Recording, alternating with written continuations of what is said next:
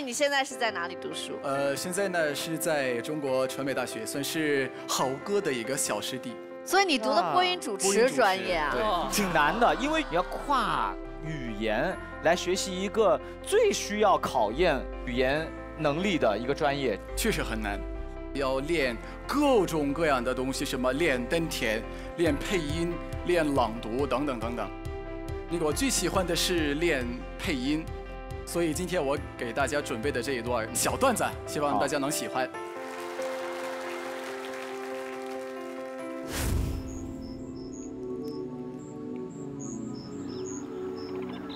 春天来了，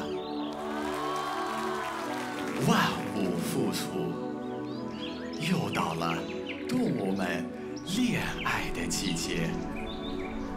今天，我想给大家讲述一个故事：干饭人干饭魂，干饭人吃饭得用盆，干饭人有精神，吃饱了都进不去门。干饭人背苦大，一张大嘴吃天下。干饭人爱犯困，一到饭点就精神。问我干饭哪家强？你我皆是干饭王。走，干饭去。真的不错，真的不错啊！出乎意料。你的专业都学成这样了，你未来的目标是什么？以后呢，希望我自己有自己的一个主持的节目。哦，希望自己有一个常态的节目能够主持。没关系，全中国的主持人也没有多少个像我这样有常态的节目的。